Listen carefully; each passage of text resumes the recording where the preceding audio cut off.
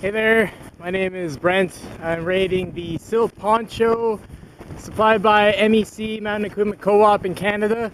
And as a bike bike tourist, I can attest that this is definitely worth picking up. Comes recommended. Uh, as you can see, I'm riding right now, and I didn't want to get a rain suit. I thought I would experiment with this because I'm a sweaty guy and I end up getting just as wet inside the rain suit as I do outside. But as you can see, the wind flopping around inside is keeping me quite cool. I have the hood not on, so I have nice ventilation through the helmet. And if it really starts port coming down, I can put the hood on and it'll keep me pretty dry.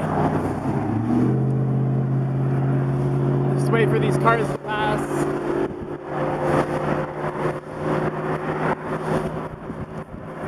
Now, uh, one thing about the corners is that they can get caught in your wheels, so I recommend tying them down some way.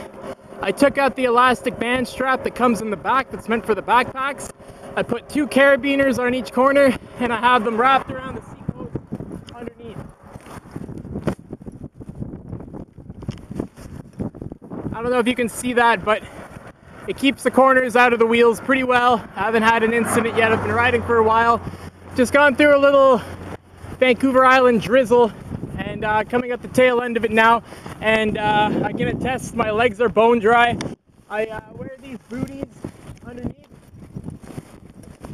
and uh, they're, they're the things that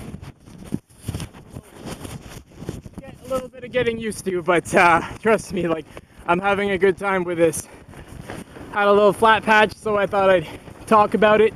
But uh, I got the front corners secured, right, one right in the middle there on the uh, central dry pack that I keep my food in.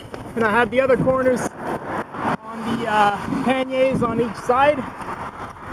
And uh, at first I was holding them with my hands, but it got rather cumbersome. And as you can see, I'm riding with my arm not even out of it. So this is keeping my arms dry. It's keeping them pretty cool too, because I can still get some of the wetness just coming through by conduction. But uh, yeah, I, I, I, love this. One uh, drawback I could see being a problem is if I was in the prairies and I was getting a nasty crosswind, yeah, it would blow a rain right to each side of me and that, that could be a problem as well as getting the thing stuck in the spokes. But uh, not in the prairies, so yeah, only foreseeable problem. Other than that, just been taking some getting used to and uh, well recommended. It's uh, worth it's worth the money. I don't have a rain suit. This is all I have with some rainproof booties and a nice warm reflective jacket that's not waterproof but is breathable. I Can wear that underneath if I wanted to. But it's uh, it's not cold. It's just wet. Here we are at Canoe Creek, just passed by the giant cedar recreation area in BC on the Tofino Highway. All the very best to you and you and yours.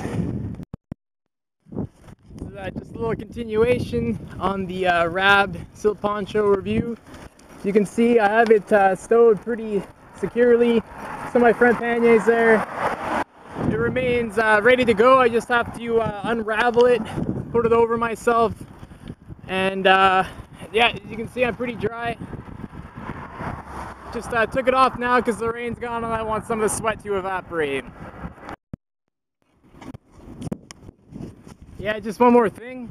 A good rule of thumb is uh, if uh, it's misting, but it's not enough to make the concrete wet, then don't worry about putting on the sil poncho.